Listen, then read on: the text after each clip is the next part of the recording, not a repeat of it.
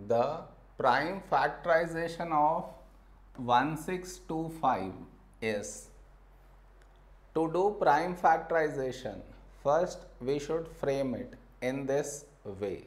See 1625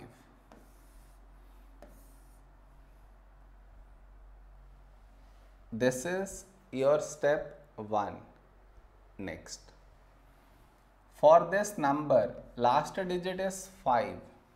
So you take 5 here.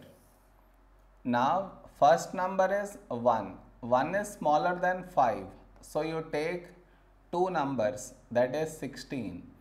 So now closer to 16 in 5 table is 5 3 is 15. 16 minus 15 is 1. 1 carried forward making it 12. Closer to 12 in 5 table is 5 2's 10. 12 minus 10 is 2, 2 carried forward making it 25. When do you get 25 in 5 table? Is 5 5 is 25.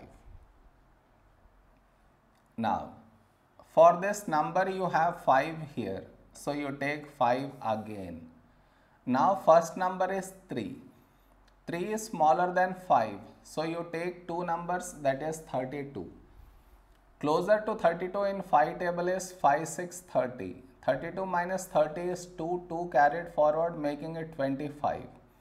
When do you get 25 in 5 table? Is 5, 5 is 25. Now, for this number you have 5 here. So you take 5. First number is 6. Closer to 6 in 5 table is 5 ones 5. 6 minus 5 is 1, 1 carried forward making it 15. When do you get 15 in 5 table? Is 5 3 is 15. Now we got 13. 13 is prime number.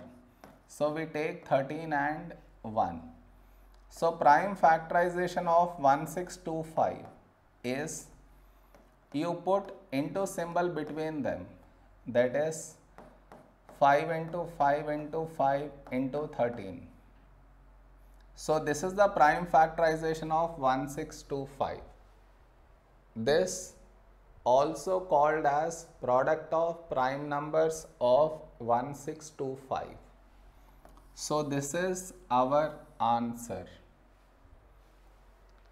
Am I clear?